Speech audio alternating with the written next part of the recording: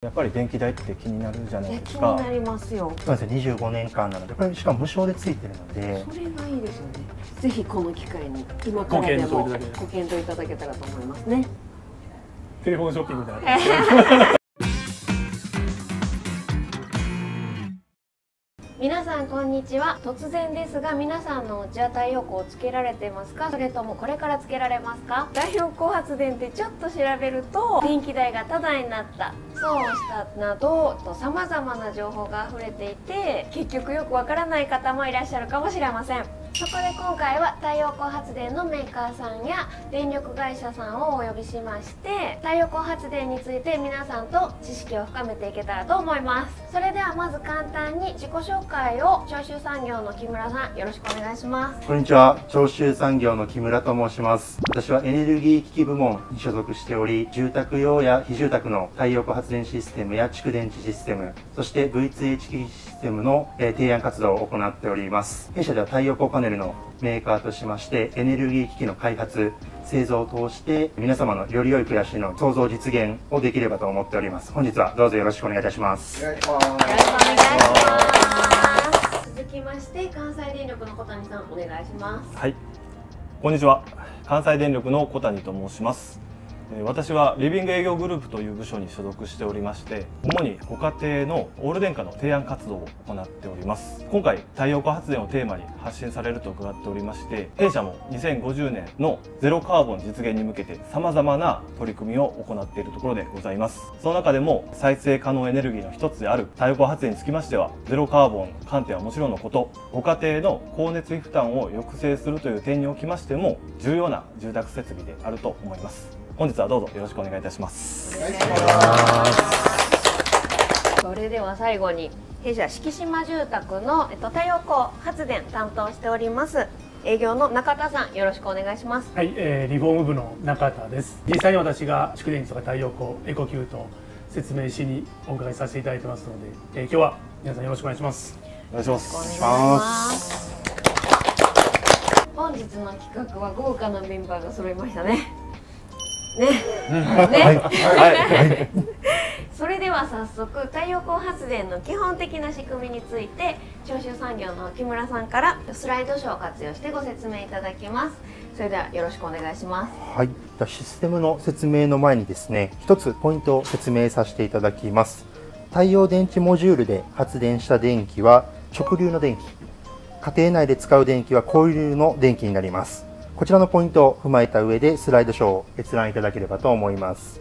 それではシステムの説明をさせていただきます。まずですね、太陽光エネルギーをえ、電気に変換する、え、屋根の上に乗っている丸1番ですね、太陽電池モジュールになります。そしてですね、太陽電池モジュールで発電した電気を1箇所に集める役割がある丸2の接続箱という機械がございます。そしてさらにですね、太陽電池モジュールで発電した直流の電気を家庭で使う交流の電気に変換する丸3番のパワーコンディショナーという機械がございます。こちらの変換された電気を家庭内の電気製品に送る丸4番の分電盤がございます。こちらの分電盤から各電気製品に通じておりまして、太陽電池モジュールで発電した電気を使えるようになっております。そしてですね、使い切れなかった電気は電気量を測る丸5番の電気メーターを通じて電力会社様に電気を売ることができます。あとですね、え太陽電池モジュールで発電した電気の消費量や売電量などを見ることができるカラーモニターもございます。こちら、敷島住宅様では標準でセットに入っている商品となっております。以上になります。わかりやすいご説明ありがとうございます。それでは、視聴者の皆様が太陽光発電について気になりそうな質問を複数ご用意しておりますのでぜひお答えいただけたらと思います。それでは1つ目です、はい、太陽光発電の導入による主なメリットは何ですか？はいこちらですね。主に2つございまして、はい、1つ目がですねあのスライドショーにも映させていただいているんですけどもまず一番大きいのが経済的メリットになっております。大きく言いますと太陽光発電で発電した電気をお家で使う自家消費といった部分、まこちら光熱費削減に当てはまります。それと使い切れなかった部分っていうのは電力会社に売ることができますので、そちらよくある売電収入と言います。こちらの2つがあの経済効果となっておりまして、太陽光をつけていただく時の1つ一番大きなメリットとなっております。で、2つ目のメリットがですね、あのパワーコンディショナーという機械の側面かもしくはですねあのものによっては下の方に非常用コンセントというのがついてます。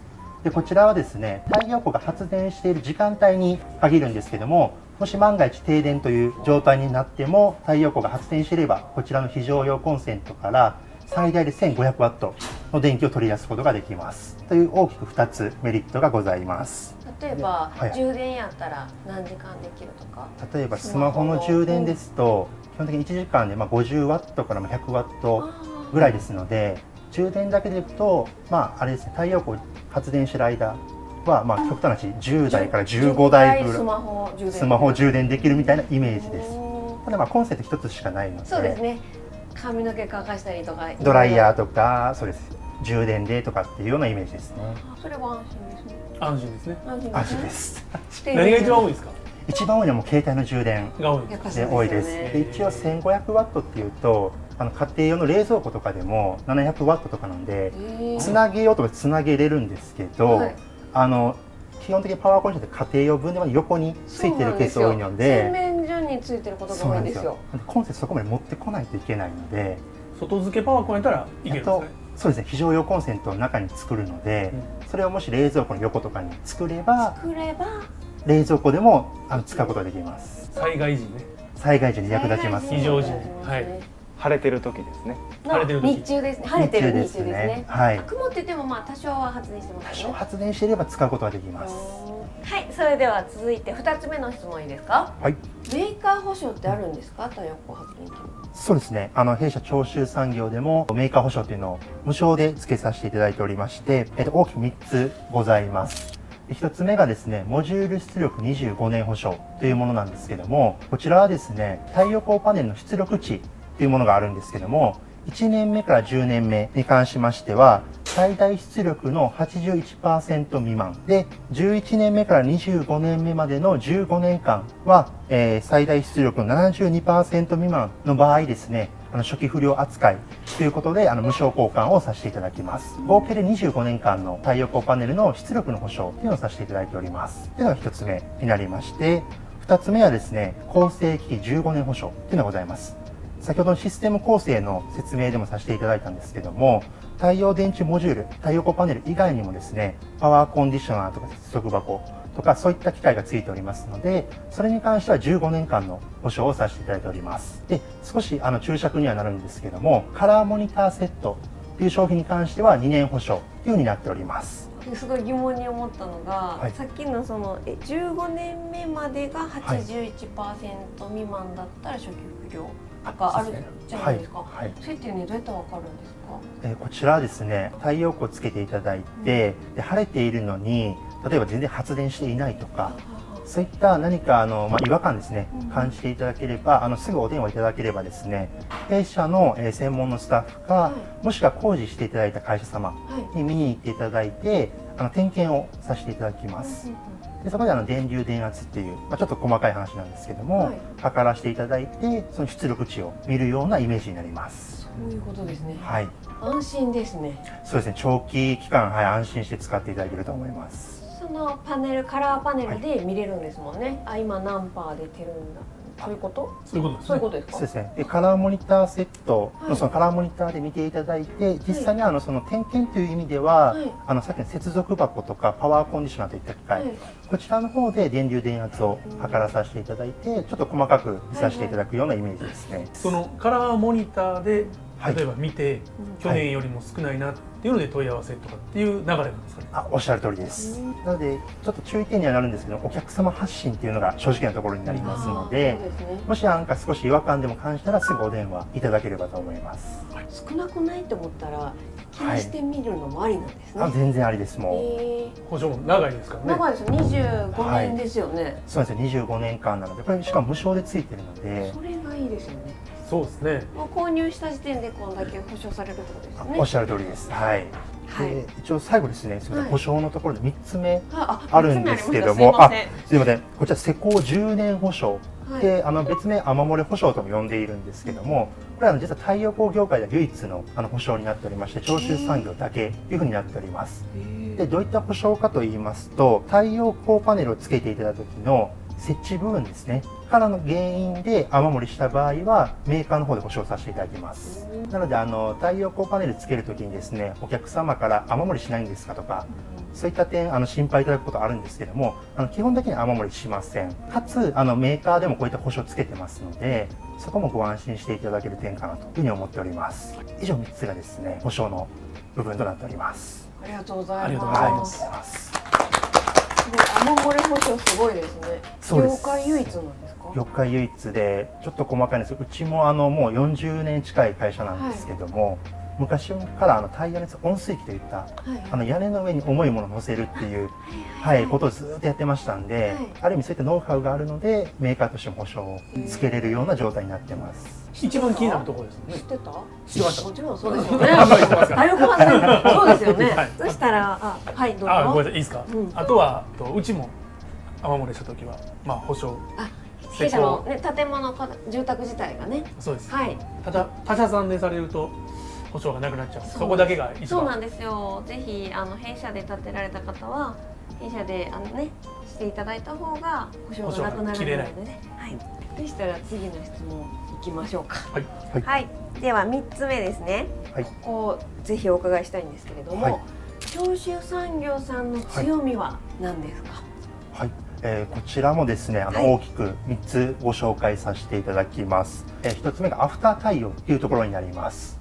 でこちらあの見ていただいた通りなんですけども例えば5年前10年前に太陽光をつけたお客様で、まあ、最近で自然災害とかも多くなってきてますので太陽光パネル1枚2枚破損してしまった場合ですね大体の場合はですね数年前のモデルっていうのは今作ってなかったりしますので対応できなかったりとかもしくはまあ極端な場合ですねその破損した部分だけ抜き取って歯抜けの状態で使っていただくこともまあございます。ただ弊社の場合はですねあの自社工場で太陽光パネル作っておりますのでオーダーメイドで過去のものも作ることできます。なので長州産業のものであればあの長く安心して使えるっていうところまたこちらも一つ強みっていうふうになっております。2つ目になるんですけども実規格っていうところになりまして例えば今メインで販売させていただいているのが 340W っていう出力の太陽光パネルなんですけどもあの1枚1枚あの工場の出荷時のタイミングで出力値っていうのを測っております。結論を言いますと340って言ってるんであれば、340以上もしくは同等の発電するものしか出荷してません。実はですね業界ではですね例えば340と言っていても上下10%以内の出力があれば出荷して OK になってます。なので340と言っていてもマイナス10%の 306W でも極端 OK ですってなるとあのシミュレーションとか経済効果がかなり変わってきますのでね。逆にですね提案していた時は100%でも実際お客様の元に届くのはまあ9596%のものとかってなっちゃうとやっぱお金の部分絡んできますので弊社の場合はそこはお客様にも、まあ、販売店様にも迷惑がかかるのでもうそれ以上のものしか出荷しないというのが2つ目の強みというふうになっております。めっ勉強になる。僕も すごい勉強になる聞いてはい。お客さんに説明するんですけど、すはめっちゃ刺さるっすいいねやこれ刺さりますね。これあの結構お客様には、うん。はい納得というかはい。あの確定ですよね340はそうなんですよ。もしあのお客様のご希望があればお客様のそのついてるパネル一枚一枚の出力を記載した出力証明書みたいなものがありまして、はそれを出すこともできます、えなのでこれあのご希望があればですので、はい。お客様次第にはなりますけども。ー、大丈夫ですか？YouTube で言ってしまって。ちょっと今カットでいいですか？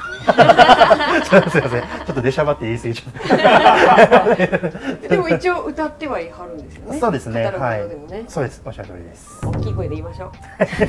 そうです。期待してるので大きい声で言いましょう、はい。このメイドインジャパンっていうのがいいですね。そうですね。あの今山口県で自社工場で作ってますのでで今国内製造しているっていうところと、はい。あの製造ラインっていうはいところも自社で作るノウハウがあるっていうのはある意味うちだけになっておりますのでまあ、いわゆる国内製造かつ、まあ、国産っていうと、まあ、長州産業みたいなイメージを持っていただける。すごいですね。そうです。あの昔はもう国内製造多かったんですけど、まあ、海外に工場を移すとか、はいはい、はい、もしくは事業撤退するっていうところもありましたので、はい。まあある意味減ってきて今まあ国内製造イコール長州みたいな感じになってますね。ありがとうございます。今ので二つ目ですよね。まだあるんですね。はい、そうですね。で最後三つ目がですね、すいません、ちょっと重複にはなるんですけど、はい。さっきのあの長期保証ですね。そうですよね、あれがあのメーカーで無償ではい。ついておりますので、こちらの合計三つが長州産業の強みっていうふうになっております。ありがとうございます。刺さりました。あ りがーとうございます。師匠もアフターフォローメンテナンスがはい。推しなんで、推しなんで。まあ、、そこが合致してね。あおっしゃる通りですねあの、あのあれがね。あれがあの、そういうあの、そういう目指すところが聞いてあるんですよね。そうですね。まあある意味ダブルでダブル。保証みたいな感じになるので。ということすねぜひ敷島で長州産業さんの太陽光をつけていただけたらと思います。で続きましては、えっと、小谷さんにはい質問をさせていただきたいんですけれども、はい。太陽光発電で光熱費の削減になるんですかね。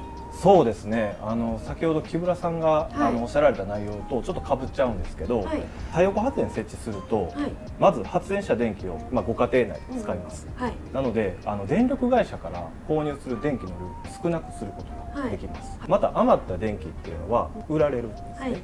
ですので売電収入も見込めますので、まあ、全体の光熱費っていう部分、まあ、電気代の削減につながります、さらになんですけど、はい。省エネ電気給湯器であるエコキュート。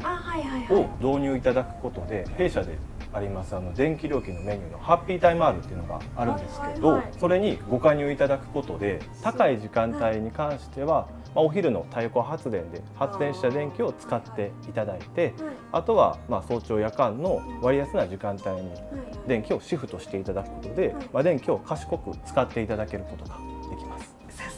関連さんなんでエコキュートも入れてきはりましたね。そうでそうですね。はいもうオール電化されるのであれば太陽光も入れてダブルでお得に行きましょうと。そうですね。そういうことですよねので、まあ、オール電化とうん太陽光発電というのは非常にいい相性相性がいいんですねはい、だと思います。プランの相性がいいですよねプランの相性いいですね。はい。でもそうですよね。だって電気ですもんね。高いデイタイムは太陽光で補って、ではい。安いナイトタイムはもう電力会社から買い金ましょう。次の質問いいですか？はい。太陽光発電の電気をお家の中で使用するにはどのような方法があるんですか？例えば家電製品ですね。はいまあ、洗濯乾燥機であったり、はいはいはい食器洗い乾燥機。はい晴れたお昼間にタイマー設定していただくことで、うん太陽光の電気を使って機器を使っていただくことができます。一般的には深夜に使って安くっていうのを、はい太陽光つけられてる方は逆に昼間に使った方がいいってことになるんですね。そうですね。あの自分とこで発電した電気を使うことで、まあその分まあお金が他の時間には使わなくなりますからね。洗濯物とか回す時昼間の方がね自家消費回ってる時間帯なんでの方がいいってことですね。まさに今だと思うんですけど、はい。夏の暑い時エアコン。エアコンですこれも気にせず使っていただけるっていうのは非常にいいポイントなのかなと、そうです結ね構ペットのねそうなんですよ。飼ってる人とかはエアコンつけたまま出ていくとかいう人結構多いんですから。いやありますよね。結構今つけっぱなしの方って増えてきてると思うんですけど、やっぱり電気代って気になるじゃないですか。気になりますよ。太陽光発電で。そこをねはい。補っていけばってことです。まるっと、まるっと。はい。まあ、あと先ほどご紹介したエコキュートなんですけど、はい。はい。太陽光発電で発電した電気で使っていただけるような機種も出てきておりまして、そうなんですね。そうです。ですのであの太陽光で発電した電気を有効活用できるような機種も出てきております。なんか AI 機能ついてますよね。あ AI 機能も、はい、あったりとか、で今から新築で建てて考えられてる方は、はい。もうぜひその時点で最初から考えておいた方がいいってことですね。そうですね。後からやられるよりかは初めにそういった設備を導入していただく方がいいと思います政府の固定買取制度って家庭用でしたら10年間なんですね、はい。まあ、それ以降もう買い取りっていうのは今では継続してあったりするんですけど、まあ、当初の買い取りの価格よりかはまあ下がるねはい、安くなってしまいますのでゆくゆくですね太陽光ってあの長州産業様からご説明あった長期間設置されるというふうになってますので、まあ、あの発電した電気を長く有効活用できる方法があれば安心できますよね。そうですよね。はいそしたら次の質問いいですか？私が気になるやつなんですけどもしその住まれた後に設置するってなったら工事期間ってどのくらいかかるんですか？大体ですね3日から4日程度ぐらいになります。それは普通に生活はできるんですか？あそうですね。ある意味太陽光パネルの設置とあとはですねあの先ほどのパワーコンディショナーといった機械を実はあの家の中に置くタイプの屋内っていうのと家の外につける屋外タイプっていうのがございます。で太陽光パネル自体は外でつけるものなので生活面あんまり支障ないかと思います。であとはそのパワーコンディショナーという機械を中につけられるんであればあの少しの期間ですねあの工事される方が家の中に入られますのでその分はちょっとあの生活面まあ支障じゃないですけども、はい、少し制限は出てくるかなと思います。そしたらさっきのあれですねパーコンをどっちにつけるかはもう言われてたこう停電時にお家の中で使いたかったら家の中につけたらいいしとかそういう感じになるってことですねそうですね、はい、1週間ぐらいはちょっと我慢していただくこともあるかなみたいなまあでも1週間の我慢でねこれからも電気代がね、はい、安くなるんでね、はいっていうことですね。おっしゃったです。ありがとうございます。そしたら次中田さんいいですか？はい。結構皆さんねど自分家って太陽光発電つけてメリット出るのかなとかね気になるかなと思うんですけどどんなお家だったらメリットが出やすいとかありますか？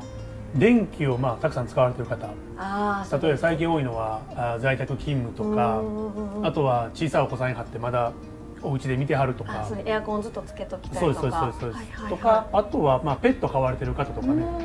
やっぱりエアコン夏冬は入れっぱになりますもんね。の方とかはどうしても電気代高くなるのでそういった方はメリット出やすいのは出やすいですね。中田さんも猫飼われてる？猫飼ってます。知らなかった。ロシアンブル飼ってます。そうそうです。ちょっと匂わないからそんなやったら。ロシアンブル飼ってます。そうなんですね。えじゃあやっぱエアコンは？ついてます。でもまああったかいとこ好きなんで猫。あなんか2階に行って日向ぼっこしてますけど、あせっかくエアコン入れてるのに。夏なったら降りてきよるみたいな。あとは、はい、まあ戸建てじゃないですけど、うんうん、コインランドリーとかね、うんうん、あれもずっと電気動いてるんで、はいはい、コンビニとか、はいはい、あれも結構増えてますね、まあ、自家消費専門ですけどね。まあそうそうですね、うん、あれですよね関東の方って太陽光発電も必須みたいなのを東京都がしてますよね、はい、来年4月からですね、まあ、どんどんそれはねきっと全国的にね広がってくると思いますね、ぜひこの機会に今からでもご検討いただけたらと思いますね。テレフォンショッピングで おすすめしてるんでね。そしたらこんな感じですかね。あの本日あの貴重なお話あの皆様来た来ていただいてありがとうございました。ありがとうございました。ありがとうございます。